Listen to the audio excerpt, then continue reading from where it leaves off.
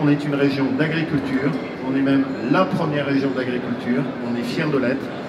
Et je pense qu'il faut euh, juste rappeler les choses très simplement. Euh, on a une chance inouïe d'avoir une agriculture comme la nôtre, qui est faite d'exploitations agricoles familiales, qui font des bons produits, qui font des produits de terroir. Euh, si vous ne voulez pas vous retrouver avec de la viande du Brésil aux activateurs de croissance ou de la viande polonaise, eh ben, il faut jouer le jeu de la fierté de notre agriculture.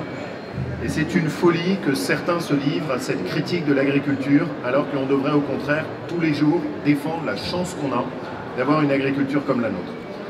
Ça suppose un certain nombre de choses, ça suppose d'avoir euh, des régions qui soutiennent leur agriculture, ça suppose qu'on donne la préférence à nos produits, ça suppose aussi qu'on se déploie à l'export, parce que notre agriculture a une vocation exportatrice évidente, et ça suppose aussi qu'il faut défendre le budget agricole de la PAC, pas uniquement dans les discours, le sujet aujourd'hui, ce n'est pas le premier sujet, ça n'est pas de refondre la PAC, c'est d'abord de défendre son budget. Euh, si on prend une PAC à moins 10%, c'est toute l'agriculture française de proximité, d'exploitation familiale qui sera détruite. Et donc notre première bataille, c'est d'abord de défendre le budget agricole de la politique agricole commune. C'est un enjeu essentiel. Euh, derrière, c'est toute la question de quel type de modèle agricole on veut.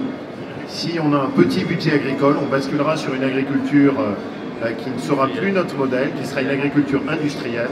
Si on veut garder notre agriculture qui est faite d'une exploitation familiale enracinée dans son terroir, il faut qu'on s'en donne les moyens. Et les moyens, c'est une vraie politique agricole commune.